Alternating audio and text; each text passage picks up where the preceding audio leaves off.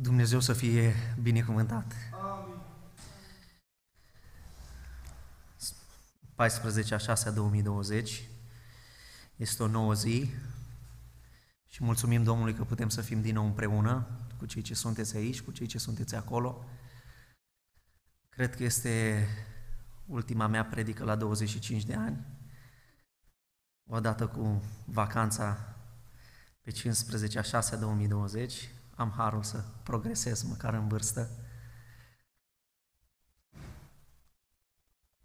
Ă, am ajuns și la mijlocul caietului și pentru că s-a tot vorbit despre predica de pe munte, cred că am ajuns la miezul predicii de pe munte.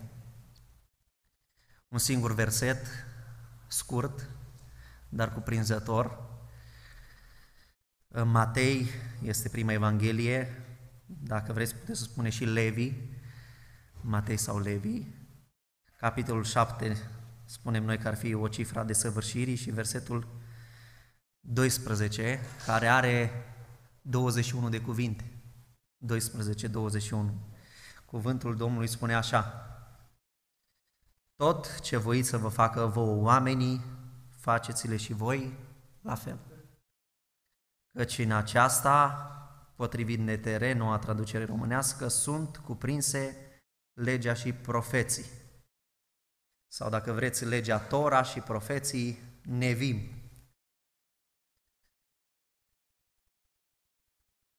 Pagina în Biblie, ediția Cornilescu 930. Și dacă acesta e textul, titlul se intitulează Faceți oamenilor ce voiți să vă facă ei vouă. E foarte ușor de reținut versetul acesta, mai ales dacă sunteți din Târgoviște, pentru că există o mașină a fratelui Cristi, cumnatul, pe care scrie exact versetul acesta în Matei 7 cu 12 și o puteți vedea destul de des. Acum țin să subliniez un lucru, să știți că versetul acesta aparent nu face referire la relația pe verticală cu Dumnezeu, ci face referire aparent la relația pe orizontală cu semenii. Dar vreau să vă spun că tocmai relația pe verticală cu Dumnezeu se traduce prin relația pe orizontală cu semenii. Așa spune și Apostolul Iubirii în 1 Ioan 4 cu 20. Dacă zice cineva, eu iubesc pe Dumnezeu și urăște pe fratele său, este un mincinos. Că cine nu iubește pe fratele său pe care îl vede, cum poate să iubească pe Dumnezeu pe care nu-l vede? Și versetul 21. Și aceasta este porunca pe care o avem de la El. Cine iubește pe Dumnezeu, iubește și pe fratele său. Vedeți, relația cu Dumnezeu pe verticală se traduce prin relația cu semenii, cu oamenii pe orizontală.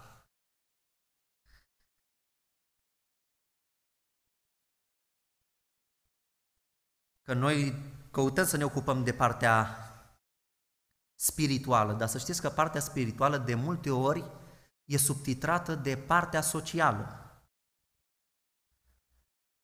Acum, așa cum bine știți, această poruncă, pentru că este o poruncă a Domnului Isus, o mai găsim și în Luca 6 cu 31, deci doar Levi și cu Luca, cei doi evangeliști, prezintă porunca aceasta, este numită ca regulă. Știți că există regula de trei simplă, regula de trei compusă. Vreau să vă zic că există regula de trei, uh, un metal prețios de trei litere, nu de patru. Se numește aur. E așa se numește regula de aur, porunca aceasta. Când veți citi versetul acesta, versetul acesta este numit regula de aur. Noi știm doar de versetul de aur al Bibliei, Ioan 3 cu 16. Vreau să vă spun că regula de aur a Bibliei este Matei 7, versetul 12. Și trebuie să subliniez un lucru. Există și o carte care se numește chiar Regula de Aur. E o carte scrisă de americana Elaine Cooper și este colorată pentru că este co- pentru copii de Gabi Sweetkovska, e o poloneză de data aceasta Și în cartea aceasta se preia ideea și chiar pe coperta de final este notat citatul acesta, precum voi să vă facă vouă oamenii, faceți-le și voi asemenea. Deși pornește de la declarația creștinismului, vreau să vă spun că autoarea subliniază faptul că acest adevăr este fondat în toate religiile, nu numai în creștinism. Atât în hinduism, în budism, în islamism, spune că e o învățătură a tuturor religiilor. Ceea ce un părinte a reclamat și foarte bine a remediat situația aceasta, în prezentarea cărții a subliniat un lucru. Este adevărat că Dumnezeu, în toate religiile, a dat posibilitatea oamenilor să-L caute chiar bâșbâind, spune Apostolul Pavel la Atena, potrivit fapte 17, chiar versetul 27. Citez la versetul 26. El a făcut ca toți oamenii ieșind din unul singur să locuiască pe toată fața pământului. Le-a așezat anumite vremuri și a pus anumite hotare locuinței lor. Versetul 27. Ca ei să caute pe Dumnezeu și să se silească să-L găsească bâșbâind măcar că nu este departe de fiecare din noi. E adevărat că în toate religiile Dumnezeu a dat posibilitatea oamenilor să-L găsească bâșbâind. Dar vreau să vă spun că în creștinism, și aceasta este doar o subliniere uh, apologetică puțin, uh, Dumnezeu a lăsat pe Hristos, care reprezintă, potrivit declarației sale, lumina. Eu sunt lumina lumii. Ioan 8 cu 12. Cine mă urmează pe mine nu va umbla în întuneric, ci va avea lumina vieții. Pentru că așa ne spune Ioan 1 cu 9. Lumina aceasta este adevărata lumină care luminează pe orice om venit în lume. Vedeți, în toate religiile, oamenii au avut posibilitatea să-L caute pe Dumnezeu, silindu-se să-L găsească, bâșbâind. Dar în creștinism, Dumnezeu l-a trimis pe Fiul ca să lumineze, să nu mai fie nevoie prin întuneric oamenii să bâșbâie, ci oamenii să-L găsească într-un mod limpede pe Iisus Hristos. Și atunci Iisus Hristos, care a vrut să-și arate o parte a naturii sale, a lăsat această poruncă. Porunca aceasta descrie inima lui Dumnezeu. Așa gândește și Dumnezeu când se uită la noi. Dumnezeu în fiecare zi caută să ne facă ceea ce ar vrea Dumnezeu să-i se facă. Uitați, Dumnezeu se raportează la noi în fiecare zi cu bine, în speranța că și noi vom ajunge să facem ce bine. Și Dumnezeu știe că de multe ori noi nu vom face ceea ce este bine și totuși Dumnezeu alege să facă ceea ce este bine de fiecare dată. Asta e natura lui Dumnezeu. Prin poruncile lui Dumnezeu descoperim natura lui Dumnezeu. Ne dăm seama ce e în inima, ce e în mintea lui Dumnezeu, ce e în dorința lui Dumnezeu pentru noi. Și țin să spun un lucru cu privire la această regulă de aur. Tot ce voiți să vă facă vouă oamenii, faceți-le și voi la fel. Știți, există cel mai bun filtru lăsat de Dumnezeu. În relația pe verticală, ați auzit filtrul acesta. What would Jesus do? Când vrei să faci ceva, filtrează-te după asta. Ce ar face Domnul Isus? Și foarte ușor se simplifică viața. Dacă vrei să faci un lucru, dacă vrei să vorbești într-un fel, mereu trebuie să te gândești, ar face Domnul Isus Hristos lucrul acesta? Ar vorbi în felul acesta Domnul Isus Hristos? Și când gândești în felul acesta, ți-e foarte ușor să răspunzi la întrebări. Dar al doilea filtru, ăsta e filtru pe orizontal. Filtrul acesta se numește What I Would Like. Ce mi-ar plăcea mie? Și asta vrea să spună exact regula de aur. Ce ți-ar plăcea ție? Aia va trebui să faci altuia. Cât de ușoară ar fi viața noastră dacă am gândit doar așa? Mă, dacă mie mi-ar plăcea să reacționez așa față de el când greșește și să mi se reacționeze la fel cum reacționez eu, atunci am să reacționez așa. Dacă nu mi-ar plăcea, nu reacționez așa. E foarte simplu de gândit așa. Cine mai gândește așa, frați și surori? Să știți că e foarte simplu de priceput regula de aur. Și un copil poate să înțeleagă. Iar plăcea colegului tău de școală să facă asta? Să-i se facă asta? Ție ți-ar plăcea să ți se facă? fă așa. Dar e uh, foarte greu de practicat lucrul acesta.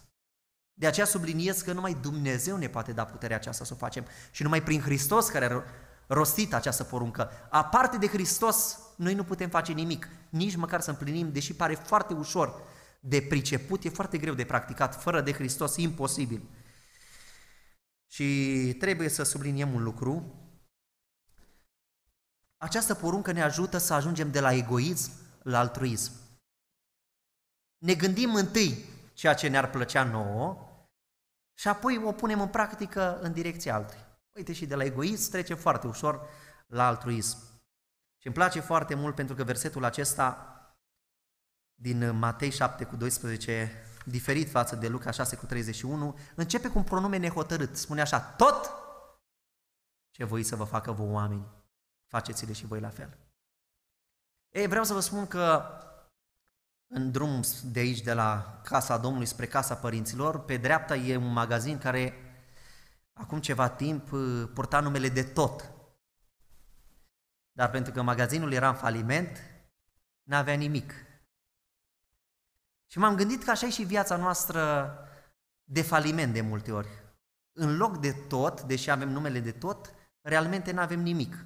Și permiteți-mi să reformulez atunci versetul acesta și să vedeți cum suntem noi în faliment. Dacă așa se potrivește versetul, înseamnă că și noi suntem în faliment. Nimic din ceea ce voi să vă facă vouă oamenii, le faceți voi. Asta e faliment total. Am intrat în insolvență, în insolvabilitate spirituală. Când exact ceea ce am vrea noi să ni se facă, nu facem. Nimic din tot ce am vrea să ni se facă nouă, nu facem altora. Asta înseamnă faliment spiritual. Și vreau să vă spun că mulți dintre noi așa trăim. Tu n-ai vrea, dar faci altora. Acum uh, vreau doar să punem regula asta de aur cu trei litere în trei puncte, foarte simple. Cum putem să înțelegem porunca aceasta? Știți, noi ca să putem să facem, trebuie să învățăm ce să nu facem. Și atunci toate cele trei puncte sunt cu să nu facem. Foarte ușor de reținut fiecare dintre ele. Toate le putem deduce din regula de aur. Primul lucru pe care nu trebuie să-l facem, să nu facem ce nu vrem să ni se facă. Versetul așa spune, tot ce voiți să vă facă vouă oamenii, faceți-le și voi la fel. Dacă întoarcem versetul, așa deducem, să nu facem ceea ce nu vrem să ni se facă. Dacă zice tot ce voiți, tot ce nu voim, să nu facem. Și aceasta e numită regula de argint, e negația și pentru că afirmația e numită regula de aur, negația e numită regula de argint. Eu vreau să vă spun în privința aceasta un lucru. Știți că există și proverbul acesta, ce ție nu-ți place, altuia nu-i faci. E foarte bine să întoarcem povestea, să vedeți că ne ajută enorm. Am observat în viața de zi cu zi, sunt lucruri pe care le detestăm la alții. Dar nu le mai detestăm la noi. Și am început să mă evaluez și mi-am dat seama. Mie în viață nu-mi place să fiu, de exemplu, refuzat când am nevoie de un ajutor. Și Dumnezeu mi-a spus, când cineva are nevoie de ajutor, nu trebuie să refuzi. E foarte important, știți că, așa cum spune și Proverbe 17 cu 17, prietenul adevărat iubește oricând și nenorocire ajunge ca un frate. Adică prietenul la nevoie se cunoaște. Când are cea mai mare nevoie un om de ajutor, atunci e cel mai important să-l ajuți. Zice, o nădejde amânată îmbolnăvește inima. Unii nu că își anulează ajutorul, dar îl amână. Și toți spun, te voi ajuta, vin o mâine. Când poți să-i dai astăzi e un păcat, spune Biblia. Când are cineva nevoie și la două noapte, dacă te sună. Ție nu ți-ar plăcea când ai copilul bolnav și nu știi încotro să alergi, să nu-ți răspundă la telefon. E foarte important să învățăm să răspundem când cineva ne cheamă în ajutor. Mai ales când e nevoie de rugăciune, frați și surori. Nu e important somnul tău, că dacă ar fi în problemă soția ta, ai sărit din pat în prima secundă dacă s-ar zbate în convalescență. Și pentru că s-a postat lucrul acesta, Mâine s-a stabilit ca zi de post pentru fratele pastor Mihai Stanciu și aș vrea toți care auziți mesajul acesta, este în comă, este la București, medicii nu i-au dat nicio șansă, dar noi știm că Dumnezeul nostru, dacă mai are în plan să-i dea zile, Dumnezeul nostru poate să-i dea din belșug și zile și luni și ani, ca și lui Ezechia, cât Dumnezeu hotărăște. Ne unim cu toți în poșe rugăciune în ziua de mâine. Nu facem din sărbătoarea zilei de 15, mai bine spune Biblia într-o casă, de jale decât într-o casă de petrecere. E mare nevoie, frați și surori, și la nevoie trebuie să fim în ajutorul seminilor noștri. Și la un ajutor financiar, când vine cineva, nu ți-ar plăcea să fii refuzat, când trebuie să plătești o factură, când ai nevoie neapărat să ajuți pe cineva și n-ai bani, vrei să te împrumuți la altcineva, tu n-ai vrea să fii refuzat. Tu de ce refuzi când vine cineva și îți întinde mâna? Și în slujire, știți că de multe ori, de ce nu m-a anunțat din timp? Nu? E foarte important când te-a pus în slujire să slujești. Nu mai găsi pretexte. Pune-te acolo, slujește. Că dacă Dumnezeu te va găsi credincios în lucrurile mici, de atunci Dumnezeu te va putea ridica la lucrurile mari. Te pune cineva din biserică, du-te și vizitează pe sora. Tu ai vrea să fii în față. Biblia spune, du-te în lucrul ăla mic, fii credincios. Vizitează, îi dai ce-ți dă respectivul. Și când Dumnezeu te va găsi credincios, că noi tot vrem în lucrurile mari, Dumnezeu până nu treci clasa 0, n-ajungi în clasa 1, la facultate nu mai vorbim sau mai departe. Dumnezeu te va ține în clasa aia până ți înveți lecția. Tu te ambiționezi, eu vreau sus cu Dumnezeu, eu vreau pe munte, vreau... Da, să te găsească Dumnezeu credincios. Ca pe David, care avea puține oi și într-o zi a ajuns să cârmuiască tot poporul lui Israel.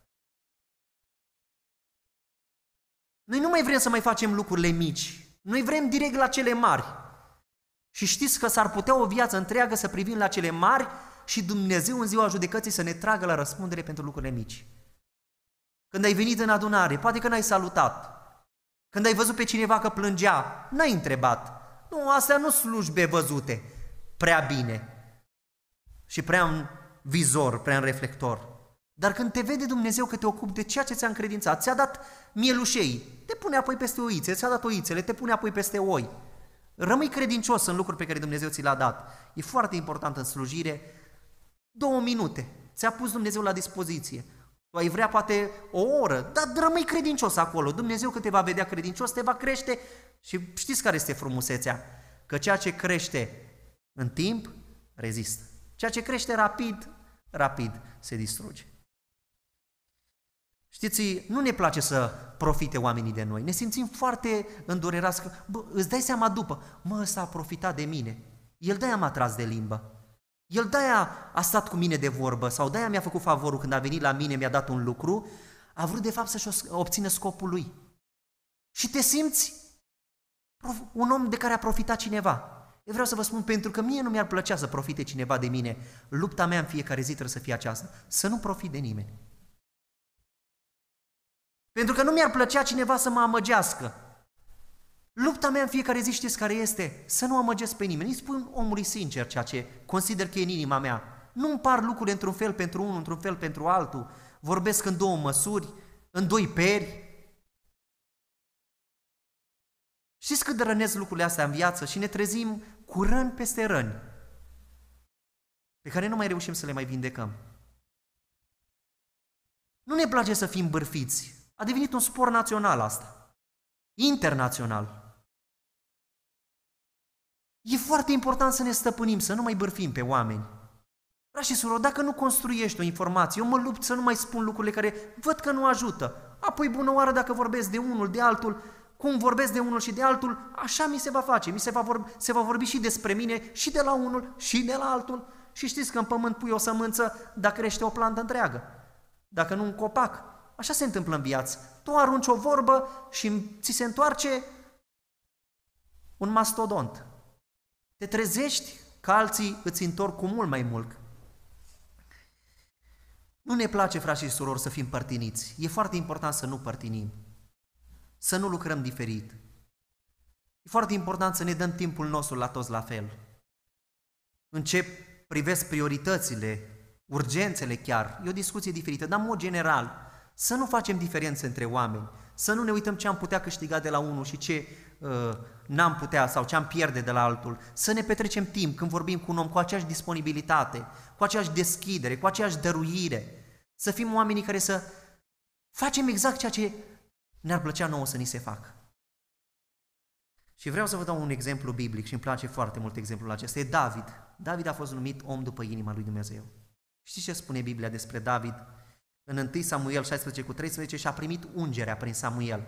Dar în 1 Samuel 24 cu 6 și 26 cu 11, caz repetat, spune așa David, să mă ferească Domnul să pun mâna pe unsul Domnului. David știa că el are ungerea Domnului și știa că în timp el n-ar vrea să-i se facă ceea ce putea el să facă și a zis eu nu fac lui Saul pentru că poate mai târziu cineva s-ar putea să-mi facă mie. Și n-a pus mâna. E foarte important să nu ne atingem, frați și surori, nici de slujitorii lui Dumnezeu. Pentru că s-ar putea tu să ajungi în slujire, s-ar, s-ar putea chiar să fii în slujire. Și cum te-ai atins tu de un slujitor al lui Dumnezeu, l-ai bărfit, l-ai judecat, l-ai ponegrit, l-ai părtinit, l-ai discriminat, l-ai pus la colț, ai vorbit cu răutate, l-ai făcut uh, uh, marginalizându-l, ultimul om. Vreau să spun că se va întoarce tot în viață.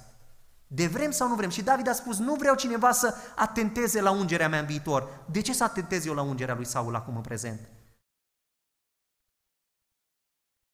A doua lecție pe care o putem învăța din regula de aul, dacă în primul rând să nu facem ceea ce nu vrem să ni se facă, a doua lecție este aceasta, să nu facem doar dacă ni s-a făcut.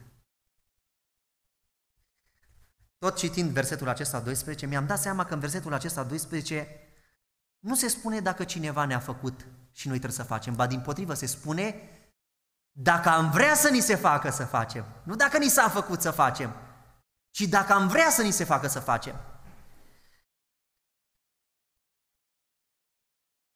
Toată viața noi măsurăm oamenii după. A venit la mine la nuntă, mă duc și eu la nuntă. Mă, nu mi-a răspuns la telefon. Nu-i răspund nici eu la telefon.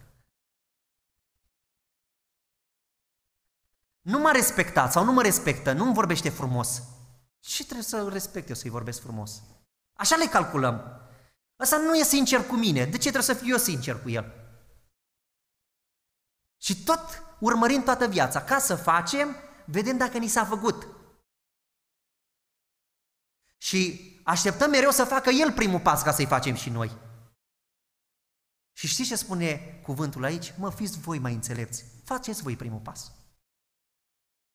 Ați auzit expresia, schimbarea în bine începe cu mine.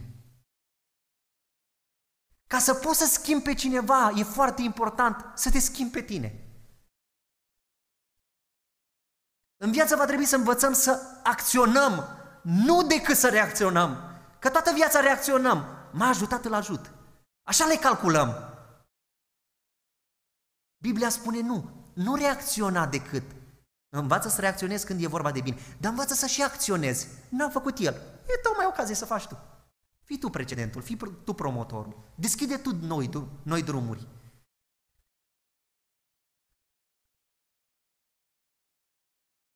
Nu m-a respectat el îl respect eu. Știți ce lecție extraordinară e asta?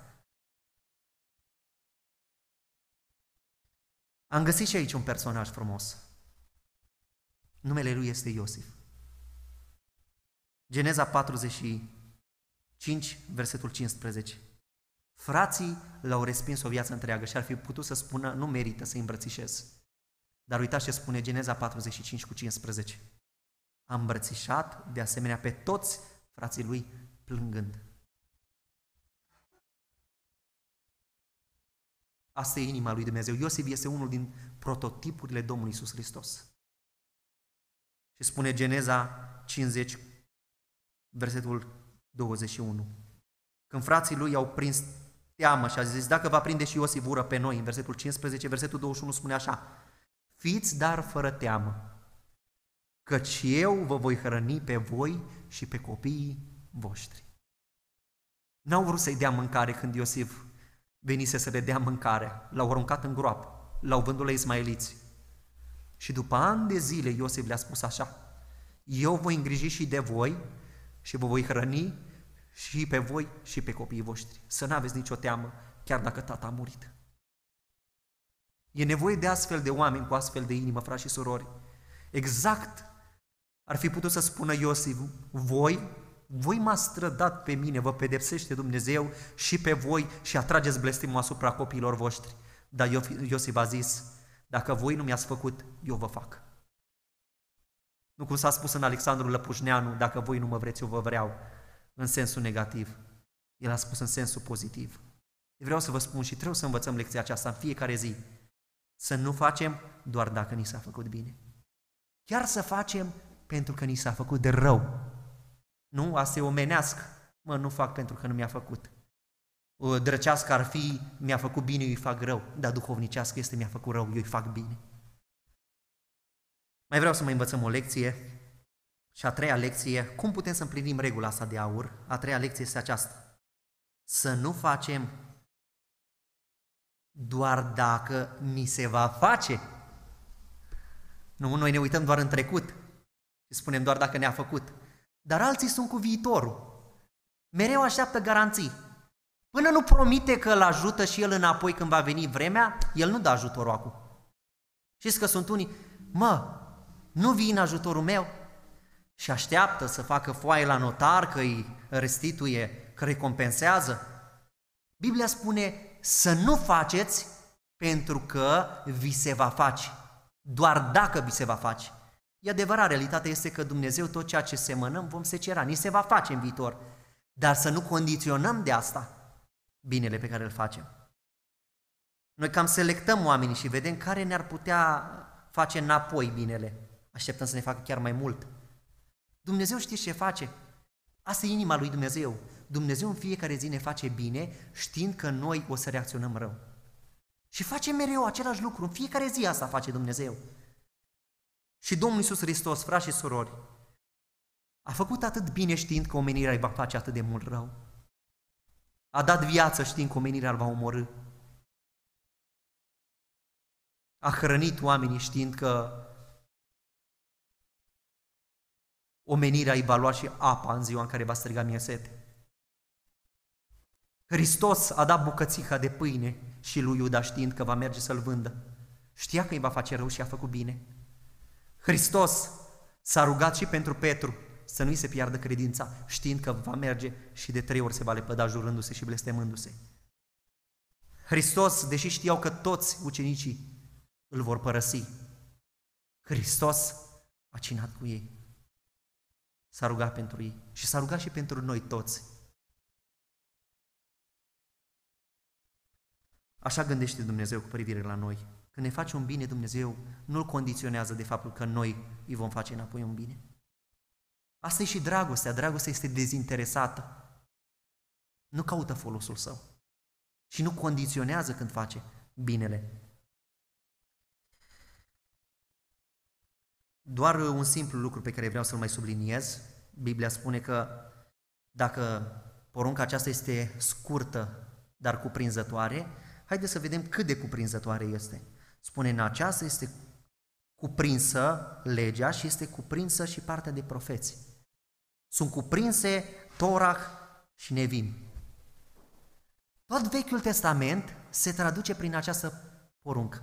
Vedeți, așa de concis a fost Domnul Iisus încât a putut să concentreze tot Vechiul Testament într-o singură poruncă. De aia se numește și regula de aur.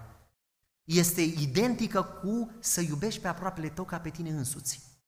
Cum te iubești pe tine, ce ai vrea să ți se facă ție, îl iubești pe aproapele tău, îi faci lui. Sunt similare. De aia mai este numită legea aceasta legea împărătească, legea regală. Și prin filtrul acesta putem să traversăm toată viața noastră. Când suntem copii, frați și surori, trebuie să ne gândim, dacă eu voi ajunge părinte, mi-ar plăcea să-mi facă copilul meu ceea ce fac eu părintelui meu? Când ești soț, respectiv soție, Trebuie să te gândești mereu. Mi-ar plăcea mie să-mi facă partenerul ceea ce îi fac eu lui? Când strigă care nevoie de o cană de apă sau poate că trebuie să-i rezolv ceva și spun, lasă-mă că am treburile mele, sunt prea ocupat. Ai vrea ca el să-ți facă ție când tu ai nevoie de ajutor ceea ce îi faci tu acum?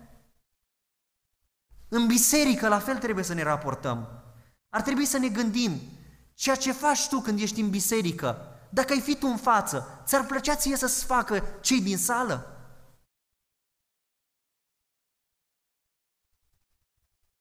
Spunea cineva și e un lucru extraordinar lucrul acesta. Noi va trebui să învățăm să lucrăm cu noi. Știți de ce? Pentru că pe noi ne avem în fiecare clip. Toată viața va trebui să ne purtăm pe noi. Și dacă nu înveți să modelezi euul ăsta din tine, O viață întreagă va trebui să-L porți cu tine și pe tine te va cătrăni, te va amărâi Euul din tine. De aia trebuie fiecare dintre noi să învățăm să ne purtăm bine cu semenii noștri. Pentru că purtându-ne bine cu semenii noștri, ne purtăm bine cu noi. Și e un triplu câștig. Câștigăm noi, câștigă și persoana respectivă, dar câștigă și cerul lui Dumnezeu. Și cu siguranță cineva pierde. Și acesta este diavolul, vrăjmașul.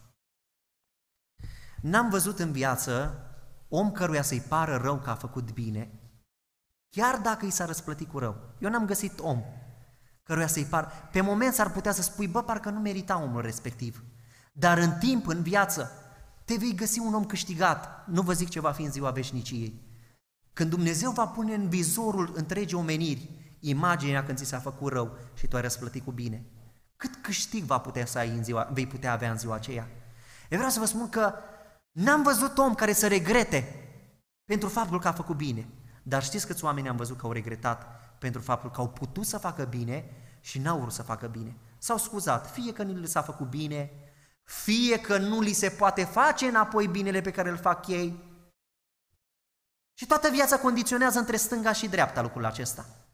Una îi pedala asta de frână, că doar e vorba de o mașină pe care e o imagine și scrie versetul acesta, e pedala asta de frână. Trecut, ne frânează. Și tot ne uităm în trecut, ne uităm în trecut. Toată ziua, mi-a făcut, îi fac. Uneori nu facem nici la cei care ne-au făcut binele. Și uneori ne uităm în viitor. Asta e accelerație. Și tot mergem în viitor. S-ar putea să ne facă binele înapoi, îl facem. Dacă nu s-ar putea să ne facă înapoi, nu îl facem. Am povestit lucrul acesta marți. Vreau doar să îl spun și pentru cei care sunteți la casele dumneavoastră și o parte din cei care sunteți aici și n-ați auzit lucrul acesta marți. Am ascultat mărturia aceasta ca să vă spun exact cum a fost mărturia. Este vorba despre un frate credincios care strângea bani pentru o mașină. S-a străduit și pe vremea anilor 2000, poate chiar mai înainte, a strâns aproape de două zeci de mii de mărci. Cu greu. Voia să-și cumpere o mașină. Când a strâns banii, mergând pe stradă, a văzut în fața unui bloc o familie dată afară din apartament. Era o familie credincioasă, cu mulți copii, și familia credincioasă dată afară n-avea de fel unde să se ducă. Duhul lui Dumnezeu a vorbit în mintea lui și a spus, bărbatule, banii pe care ai strâns sunt pentru ei, dă-le lor. I-a fost foarte greu, însă și-a supus voia lui, voii lui Dumnezeu și a plătit cu banii aceia prin cineva ca să nu se afle cine a dat, neștiind stânga ce face dreapta, suma pentru apartament. N-a trecut mult timp și fratele nostru a trecut printr-o perioadă grea. Nu mai avea nici rezerva de bani și pe când mergea la o strângere, a intrat în adunare undeva în spate. Un proroc al lui Dumnezeu din față, cum a intrat, s-a dus către el și a spus, bărbatule, pentru că odată am avut nevoie de tine și mi-ai răspuns, sfat s-a făcut la înălțimea cerului pentru tine. Și eu, Domnul Dumnezeu, am hotărât pentru că ai binecuvântat toată viața ta să fie binecuvântat. Și n-are să-ți lipsească binecuvântarea toată viața ta. Vă imaginați în ce fel a putut să plângă fratele acesta, el care știa situația grea prin care trecea și ce făcuse înaintea ei. Prorocul nu știa nimic, nimeni nu știa, pentru că a dat în ascuns, a păstrat în ascuns lucrul acesta. N-a trecut mult timp și când mergea pe drum, la ieșire din Timișoara, în Timișoara s-a întâmplat lucrul acesta, dar la ieșire din Timișoara, vocea pe care a auzit-o când mergea pe stradă o aude din nou de data aceasta și la ieșire din Timișoara când vede un teren foarte mare cu foarte mulți spini, bălării, vocea îi spune, bărbatule, cumpără terenul acesta. Era de vânzare, nimeni nu-l cumpăra, era un teren destul de măricel și neîngrijit. Și el atunci a zis, Doamne, nu mai am niciun ban, de unde să cumpăr eu terenul ăsta? Și Dumnezeu a spus, du-te la cutare persoană, cere bani pentru un timp și eu, Domnul, te voi ajuta să-i plătești înapoi. Ia terenul. S-a dus, a luat terenul. 2500 de mărci a dat pe teren. În două săptămâni l-a vândut cu 10.000 de mărci.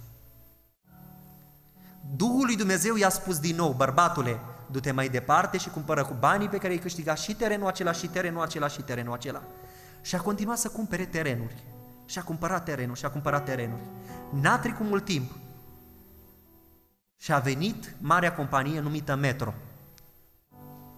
Și a căutat un spațiu mare unde să-și pună primul magazin la ieșire din Timișoara. Unde credeți că a găsit teren? La credinciosul nostru. Și a spus cât cer pe el. O sumă enormă care a vândut terenul. Și a cumpărat și mașina pe care voia să-și o cumpere înainte și așa cum Dumnezeu a vorbit pentru că ai binecuvântat, vei fi binecuvântat, toată viața lui a văzut binecuvântarea lui Dumnezeu, de nimic nu i-a lipsit. Frați și surori, eu n-am văzut un Dumnezeu căruia să-i placă să rămână dator. Dumnezeu are o ambiție. Când cineva zice că dă săracului, împrumută pe Dumnezeu. Lui Dumnezeu nu-i place să fie dator. Biblia spune să nu datorați nimănui nimic. Dacă Dumnezeu ne învață pe noi să nu datorăm, cu atât mai mult Dumnezeu nu vrea să datoreze nimănui. În fiecare zi Dumnezeu e pe urmele noastre cu datoria. Și știți că asta e frumusețea lui Dumnezeu. Zice, da și vi se va da, ba încă vi se va turna în sân o măsură îndesulată să dea pe din afară. Asta face Dumnezeu. Dumnezeu, când pui în pământ o sămânță mică, te vei trezi cu un arbore imens. Va trebui să învățăm să ne dăruim, frați și surori, și să dăruim, chiar dacă nimeni nu ni s-a dăruit în afară de Hristos și nu ni se dăruiește lângă noi. Fii tu cel care dă startul în casa ta, fii tu cel care faci schimbarea în familia ta, în biserica unde Dumnezeu te-a așezat. Gândește tu diferit, schimbă paradigma minții tale, învață să gândești într-un mod în care în urma ta să se vadă o altă dâră, când oamenii trec să spună, eu n-am mai simțit o astfel de miriazmă pe aici, prin zonă. E un alt fel de om, e un alt fel de trăire. Omul ăsta nu decât vorbește, omul ăsta își trăiește viața. Îmi doresc și eu să fiu ca omul acesta. Să ne vadă pe noi ca niște embleme după care să se modeleze și viețile lor. Să spună, eu mi-aș dori, mi-aș dori să fiu așa cum îl văd pe omul ăsta că este. Știți când este copilul mic, în fiecare zi copilul, când se uită, spune, vreau să fiu ca mama, vreau să fiu ca tata. Aș vrea să se uite oamenii și la noi, să ne vadă că niște părinți spirituali, toată ziua suntem copii și așteptăm ca alții să ne dea. Părinții spirituali știți ce fac? Dau ei. Să învățăm să dăruim. Să învățăm să ne dăruim pe noi. Noi vrem slujbă, dar știți ce spune Biblia în Romani? Zice, aduceți trupurile voastre ca o jertfă vie, sfântă și plăcută înaintea lui Dumnezeu. Aceasta va fi din partea voastră o slujbă duhovnicească. Poate că nu ești în fața aici, dar când te dăruiești, s-a auzit că este post pentru fratele pastor Mihai Stanciu, te vei pune în post. S-a auzit că soția fratelui pastor Ciprian Terinte are tumori, urmează chimioterapie, te pui în post și mijlocești. Știi cât de important e când cineva te sună să te rogi pentru el, să te rogi? Omul ăla nu te sună de drag, omul ăla te sună de nevoie. Am văzut în viață că atât de mult calculează Dumnezeu lucrurile acestea și Dumnezeul nostru care le calculează perfect, le și răsplătește perfect. Aș vrea motivați de gândurile acestea și de cântarea după acest cuvânt să ne apropiem de Dumnezeu. Și am vrea să-i spunem lui Dumnezeu de dorul tău, Iisus iubit, în dragostea ta arse și inima spre răsărit și fața mi se întoarse. Aș vrea să ne întoarcem privirea de la noi să ne întoarcem privirea la Hristos, care așa a făcut, și să ne întoarcem privirea la semenii noștri și cum am vrea să ni se facă să facem și noi altora. Regula de aur. Știți că aurul stabilește monetarul. În funcție de valoarea aurului se stabilește banul în tot universul acesta. Vreau să vă spun că în funcție de cum respectăm regula aceasta de aur, vom da valoare și vom da valență cuvântului lui Dumnezeu. Pentru că tot cuvântul lui Dumnezeu se cuprinde în aceasta. Cântăm împreună de dorul tău, Isus, iubit. Omule, ce mari răspunderi ai. Traian Dors, prin poezia aceasta frumoasă a Biancăi, ne-a vorbit de faptul că suntem responsabili de viața noastră, dar suntem responsabili și de veșnicia noastră. Dar suntem responsabili și de seminii noștri. Și spune un cuvânt, cum ai făcut, așa ți se va face. Dacă faci bine, vei fi bine primit. Dar dacă faci răul, răul se va ține după tine. Dumnezeu să ne ajute de dorul Lui să facem ceea ce trebuie. Amin.